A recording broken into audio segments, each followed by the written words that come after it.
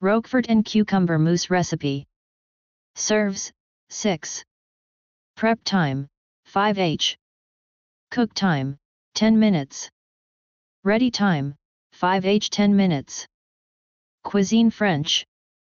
Ingredients 18 centimeters, 7 in, piece cucumber. 10 ml, 2 teaspoon, powdered gelatin. 15 ml, 5 tablespoon, cold water. 100 grams, 3 and 1 half, ounce Roquefort cheese.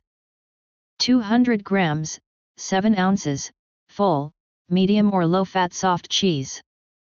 45 ml, 3 tablespoon, creme fraiche or soured cream. Cayenne or white pepper. Seedless red and green grapes and mint leaves, to garnish. Instructions. Step 1. Peel the cucumber and cut lengthways into quarters. Remove the seeds and cut the cucumber strips into 2.5 cm 1 in pieces. Step 2. Sprinkle the gelatin over the cold water in a small heat-proof bowl. Let the gelatin stand to soften for about 2 minutes, then place the bowl in a shallow pan of simmering water. Heat until the gelatin is dissolved, stirring occasionally.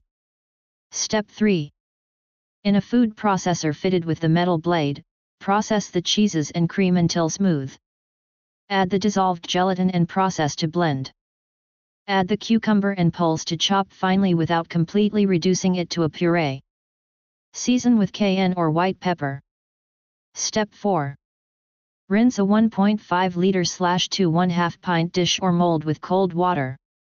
Carefully spoon the mixture into the dish or mold and tap gently to remove air bubbles. Chill for 4-6 hours or overnight until well set.